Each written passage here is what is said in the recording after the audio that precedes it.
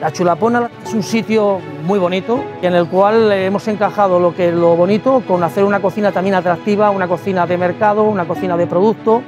Un tío mío que era cocinero fue el que me inspiró y una vez metí en la cocina pues me encantó, es algo que te llega, pues la pasión que se le pone, todo el mundo que estaba por encima de mí veía que tenía una implicación, era algo que yo le veía, digo, joder, hay que ponerle cariño, pasión y ahí me encantó, me encantó.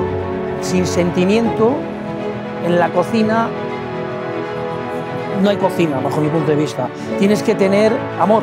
Eso que parece que es una palabra efímera, pero eh, por las cosas, por el cuidado del, producto, por el cuidado de cómo se hace, de cómo se elabora.